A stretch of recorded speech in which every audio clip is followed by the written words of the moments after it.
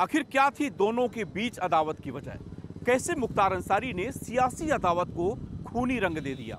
ये सब जानने के लिए ज़रूरी है उत्तर प्रदेश के उस बाहुबली के अतीत के पन्नों को पलटना, जिसमें दर्ज है बुलेट के दम पर बैलेट पर कब्जे की कहानी, जिसमें दर्ज है शहर में ठेके से सियासत में ठसक की कहानी, और जिसमें है कानूनी कागजात में दर्ज होते गए गुनाह की पूरी इबारत।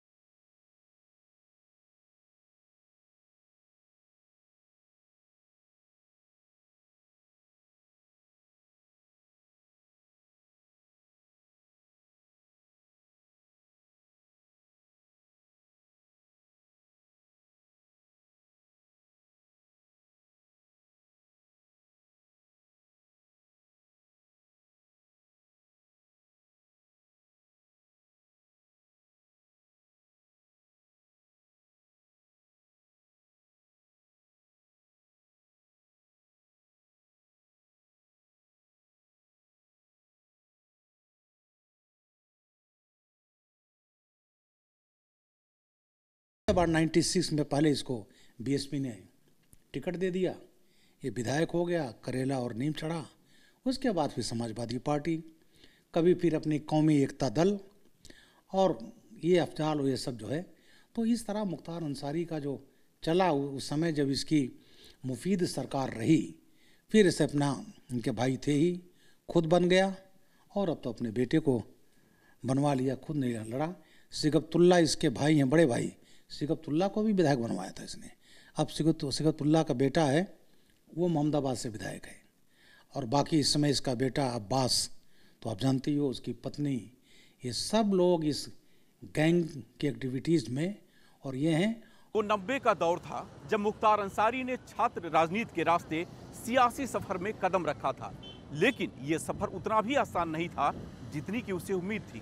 उस बात को बखूबी जानता था कि सियासत में कामयाबी के लिए वर्चस्व की जंग जीतना बेहद ज़रूरी है। और इस जंग में उसका सामना हुआ पूर्वांचल के माफिया सरगना साहिब सिंह गिरोह के ब्रजेश सिंह से। मुख्तार के बाहुबल को ब्रजेश ने चुनौती देनी शुरू कर दी। ब्रजेश को साथ मिला कृष्णानंद राय का। सियासत की सरपरस्ती और बाहुबल के दम पर जीत हासिल करने की इस जंग में ब्रजेश सिंह और मुख्तार अंसारी आमने सामने थे।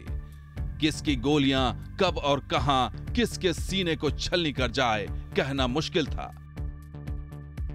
वक्त बीतता गया और उसी गुजरते वक्त में मुख्तार ने पहली बार विधानसभा चुनाव में किस्मत आजमाया। वो साल था उन्नीस सौ छियानवे।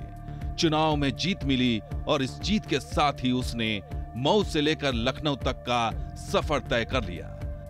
बदन पर खादी थी, लिहाजा खाकी भी सजदे की शक्ल में सामने आ गई। लेकिन ब्रजेश सिंह ने कभी मुख्तार के सामने सिर नहीं झुकाया। खाकी बेशक मुख्तार की मुखालफत नहीं कर पा रही थी, लेकिन ब्रजेश सिंह ने मुख्तार को मौत देने की ठान ली थी और इसी इरादे से मुख्तार पर हमला भी किया। लेकिन मुख्तार ने उस हमले में मौत को भी बात दे दी। हालाँकि उसके तीन साथी इस हमले में मारे गए। यही वो वक्त था जब मुख्तार अंसारी को अपनी ज़मीन खिसकती नज़र आई। आवाम ने बेशक मऊ से मुख्तार को अपना रहनुमा बनाया। लेकिन मोहम्मदाबाद से मुख्तार के भाई अफजाल अंसारी को नकार दिया। यहाँ से कृष्णानंद राय विधायक बने। भाई की हार मुख्तार को नागवार गुजरी और उसके सीने में बदले की आग धधकने लगी। मुख्तार मुफीद मौके का इंतज़ार करने लगा और बदले की आग तब शांत हुई जब उसने अपने एक साथी प्रेम प्रकाश सिंह उर्फ़ मुन्ना बजरंगी के साथ मिलकर बीजेपी विधायक कृष्णानंद राय के काफिले पर हमला कर उनकी हत्या कर दी।